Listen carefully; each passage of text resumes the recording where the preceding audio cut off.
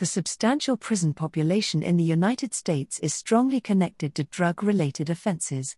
While the exact rates of inmates with substance use disorders, SUDs, is difficult to measure, some research shows that an estimated 65% of the United States prison population has an active SUD. Another 20% did not meet the official criteria for an SUD, but were under the influence of drugs or alcohol at the time of their crime.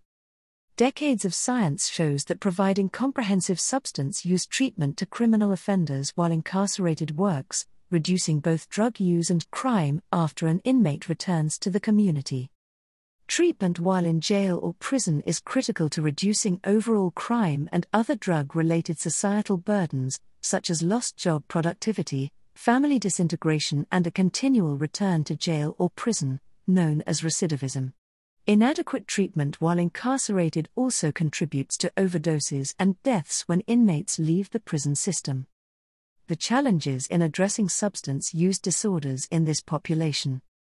To be effective for this population, treatment must begin in prison and be sustained after release through participation in community treatment programs. By engaging in a continuing therapeutic process, people can learn how to avoid relapse and withdraw from a life of crime. However, only a small percentage of those who need treatment while behind bars actually receive it, and often the treatment provided is inadequate. Inmates with opioid use disorders particularly pose a challenge.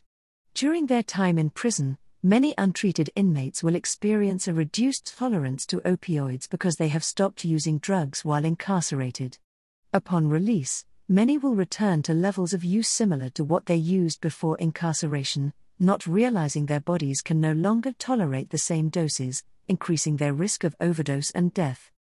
One study found that 14.8% of all former prisoner deaths from 1999 to 2009 were related to opioids.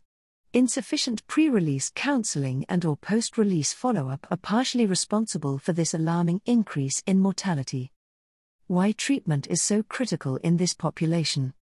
Scientific research since the mid 1970s shows that treatment of those with SUDs in the criminal justice system can change their attitudes, beliefs, and behaviors toward drug use, avoid relapse, and successfully remove themselves from a life of substance use and crime. For example, studies suggest that using medications for opioid use disorder treatment in the criminal justice system decreases opioid use, criminal activity post incarceration, and infectious disease transmission.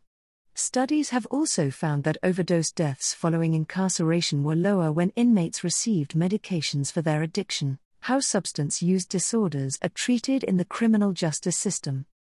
The recent National Academy of Sciences report on medications for opioid use disorder stated that only 5% of people with opioid use disorder in jail and prison settings receive medication treatment.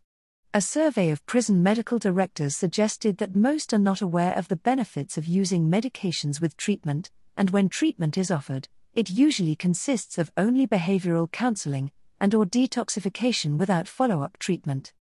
Effective treatment of substance use disorders for incarcerated people requires a comprehensive approach, including the following behavioral therapies, including cognitive behavioral therapy, which helps modify the patient's drug use expectations and behaviors, and helps effectively manage triggers and stress. Contingency management therapy, which provides motivational incentives in the form of vouchers or cash rewards for positive behaviors. Medications including methadone, buprenorphine, and naltrexone. Wraparound services after release from the criminal justice system, including employment and housing assistance. Overdose education and distribution of the opioid reversal medication naloxone while in justice diversion treatment programs or upon release. What about the cost of treatment? Failure to treat substance use disorder in the criminal justice system not only has negative societal implications, but also proves to be expensive.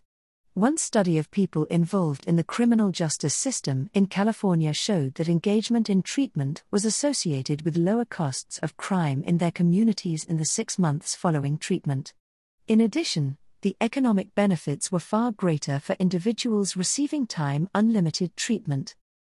A report from the National Drug Intelligence Center 14 estimated that the cost to society for drug use was $193 billion in 2007, a substantial portion of which $113 billion was associated with drug related crime, including criminal justice system costs and costs borne by victims of crime. The same report showed that the cost of treating drug use, including health costs, hospitalizations, and government specialty treatment, was estimated to be $14.6 billion, a fraction of these overall societal costs. 14 It is estimated that the cost to society has increased significantly since the 2007 report, given the growing costs of prescription drug misuse. Science suggests that even those who are not motivated to change at first can eventually become engaged in a continuing treatment process, suggesting it is a myth that treatment has to be voluntary to work. More information can be found in the Principles of Drug Abuse Treatment for Criminal Justice Populations, a research based guide. NIDA funded scientists are actively seeking solutions through the NIH, HEAL, Helping to End Addiction Long Term initiative. In addition, to support those who work with juveniles and adults within the court system, including judges, counselors, social workers, case workers, and others, NIDA has created materials and has identified other helpful resources that can be used in educating offenders and those who work with them about the science related to drug use, misuse, and addiction.